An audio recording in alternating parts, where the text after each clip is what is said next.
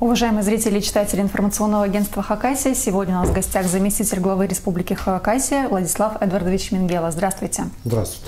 Владислав Эдвардович, вы недавно вернулись из командировки на Донбасс, вы доставили гуманитарный груз, вы пообщались с нашими ребятами, с бойцами. Расскажите об этой поездке, а, какую помощь Хакасия оказывает новым территориям? Ну да, действительно, буквально э, прошлую неделю я был служебной командировке в Луганской Народной Республике, вот если так вот уточнить. А, где расположено наше представительство Республики Хакасия. А, там работает Сергей Владимирович Комаров. И через эту схему мы доставляем а, гуманитарный груз нашим бойцам, ну и оказываем помощь региону, в частности Свердловскому району Луганской Народной Республики по развитию их инфраструктуры.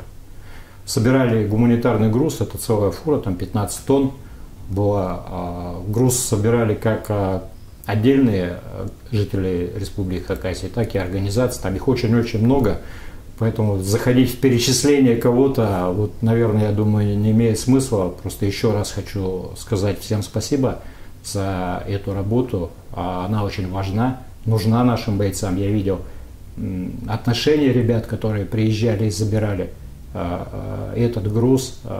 Им это очень приятно, очень нужно. И все, что мы везем, это ну, вот конкретная адресная а, помощь, конкретные предметы, которые ребята заказывают, они на самом деле очень а, нужны а, нашим ребятам на передовой. Хакасия же ведь еще оказывает строительную помощь, восстанавливает инфраструктуру новых территорий, школы, ремонтирует крыши, э, меняет знаки дорожные. Мы обо всем этом пишем. Вот, э, может быть, пара слов об этой работе.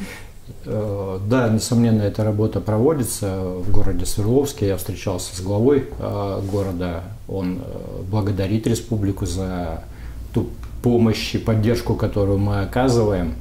Там работает наша строительная бригада. Восстанавливаем мы школы, ремонтируем школы. Был на седьмой школе, встречался с директором. А, те обязательства, которые мы на себя приняли, к 1 сентября мы их все выполним, а, и там действительно будет проведен хороший ремонт. Ребята 1 сентября пойдут в школу уже с новым ремонтом. Спасибо вам за эту работу. В правительстве вы курируете ряд э, важных направлений. Давайте немного поговорим и о них. Благодаря позиции правительства Хакасии для региона установлен самый низкий предельный индекс роста тарифов э, на коммуналку. Это 4%. Поднялись тарифы с 1 июля только на электроснабжение. Довольны ли вы результатом проведенной работы? Ну, конечно, да, можно сказать, что довольны. А, вообще, как бы, это позиция главы республики, а, которая была до населения доведена. А, это выборная, скажем так, позиция главы республики. Соответственно, и правительство выдерживает те обещания, которые на себя брало. И на самом деле, несмотря на все сложности, мы сохраняем такие тарифы в республике. Эта работа наверняка будет продолжена по возможности. Конечно. Ну, там же есть в любом случае а, федеральные а, нормативы, которые мы должны выдерживать а, максимально.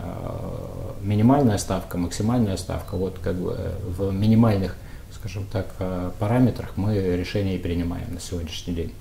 На вас и дорожная сфера. Сейчас самый разгар дорожных ремонтных работ. Расскажите, какие объекты сейчас самые ключевые? Ну вот смотрите, в общем, да, на этот год на дороге мы э, заложили порядка 4 там, с небольшим миллиардов рублей. И муниципалитеты у нас миллиард двести э, должны в этом году на дороге освоить. Это, ну, с одной стороны, большие цифры, да, но дорожная отрасль, она на самом деле такая капиталоемкая. А, из тех планов, которые на сегодняшний день есть, ну, фактически все мы э, реализуем в этом году. Там на слуху у нас а, объездная дорога а, Белый Яр. Буквально вчера а, я на объекте проводил выездное совещание.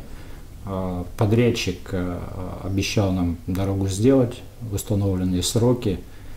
А, объект объездная дорога через рассвет и Калинина. А, там тоже мы знаем, что есть определенные вещи, связанные с а, водопроводом. в Черногорск подачи холодной воды. Конечно же, здесь нужно учитывать, скажем так, интересы в целом комплекса жилищно-коммунального хозяйства.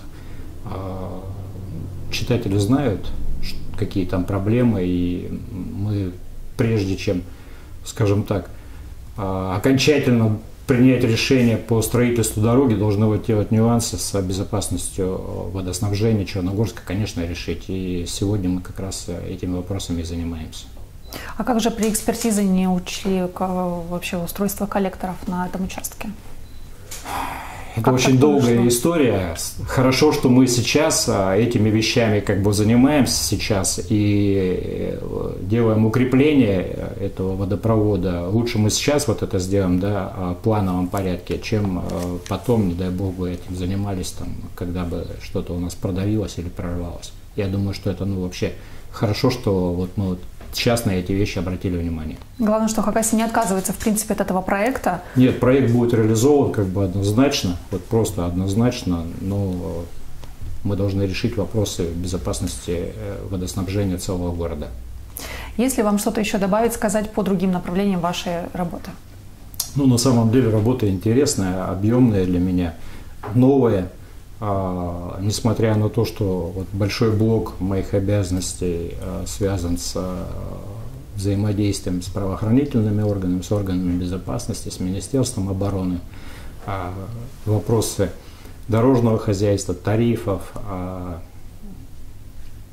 комитет по цифровизации также в моем ведении находится. Работа интересная, я готов работать на благо жителей республики.